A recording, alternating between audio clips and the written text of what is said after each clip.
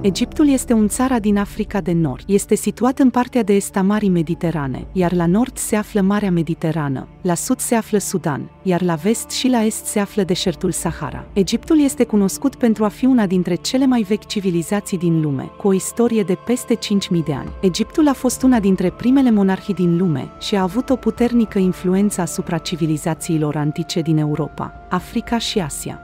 Egiptul este cunoscut pentru piramidele sale, care sunt unele dintre cele mai impresionante monumente ale antichității. Egiptul de astăzi este una dintre cele mai populate țări din lume, cu o populație de aproximativ 100 de milioane de oameni. Limba oficială este araba.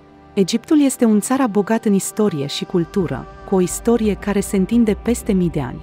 Una dintre cele mai cunoscute atracții ale Egiptului este Valea Regilor, care găzduiește mormintele faraonilor și este una dintre cele mai importante atracții turistice din lume.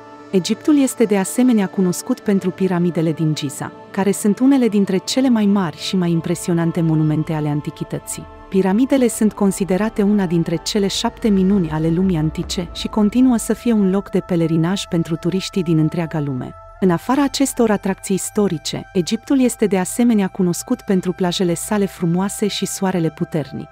Stațiunile turistice din Egipt, cum ar fi Hurghada și Sharm el Sheikh, sunt populare printre turiștii care vin să se bucure de soare, mare și snorkeling. Egiptul este un țar care oferă turiștilor o varietate de opțiuni de călătorie. Orașele mari, cum ar fi Cairo și Alexandria, oferă turiștilor ocazia de a descoperi istoria și cultura Egiptului. Cairo, de exemplu, este cunoscută pentru moschea Al-Azhar, care este una dintre cele mai importante locații ale lumii islamice, și pentru Muzeul Egiptean, care găzduiește una dintre cele mai mari colecții de artefacte egiptene din lume. Alexandria, pe de altă parte, este cunoscută pentru biblioteca din Alexandria, care a fost una dintre cele mai mari biblioteci ale antichității. De asemenea, Egiptul oferă turiștilor oportunitatea de a explora deșertul Sahara. Acest deșert, care este cel mai mare deșert din lume, oferă turiștilor ocazia de a face plimbări cu cămilele și de a vedea unele dintre cele mai spectaculoase peisaje din lume. Deșertul Sahara este de asemenea cunoscut pentru oaspeții săi neobișnuiți, cum ar fi șacalii, camile și scorpionii.